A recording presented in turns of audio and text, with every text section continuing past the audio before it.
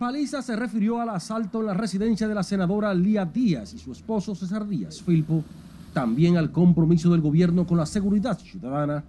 No nos cansaremos, nada cansará al presidente Abinader hasta poder brindar en República Dominicana los mayores niveles de seguridad, tranquilidad eh, y que en el caso específico de la seguridad ciudadana y de la policía esté totalmente reformada.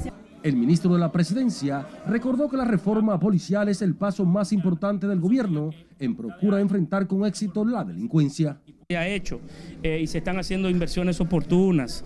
Eh, ustedes son eh, quizás los mejores referentes de todo lo que el gobierno dominicano ha venido impulsando en los últimos meses y lo hará.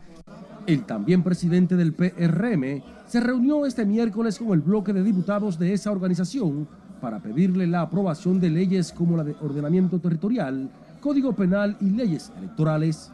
Mira, ambas leyes, tanto la ley de ordenamiento del régimen electoral como la ley de partidos, requieren de ser eh, estudiadas y modificadas o mejoradas a raíz de las elecciones que se avecinan.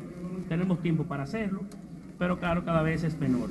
Parecería que hay altos niveles de, consenso y de acuerdo con, con esa idea de que se aprueben a la mayor brevedad posible.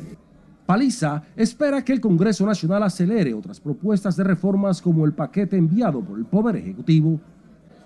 Nelson Mateo, RNN.